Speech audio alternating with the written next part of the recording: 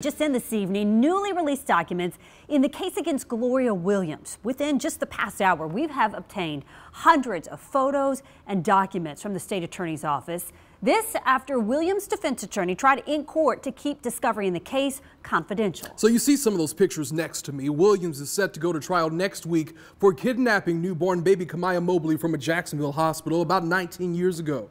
Our investigative reporter Julia Janae joins us now from the newsroom with what's been found in this discovery. Julia.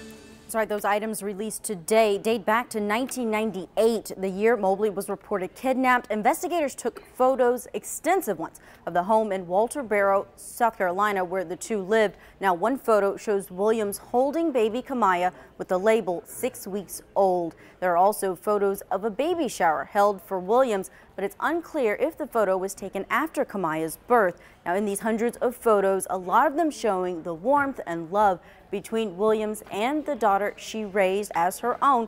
But in 2016, it's clear that questions were beginning to be raised. Williams hired an attorney in 2016 to look into getting Mobley a valid birth certificate. In those documents, it appears those attorneys weren't able to find any proof that she gave birth to her child, who was at the time 16. We'll have more that we found in the investigative report coming up on First Coast News at 6. We've also got those photos on our website at firstcoastnews.com. For now, reporting from the newsroom, Julia Janae, First Coast News on your side.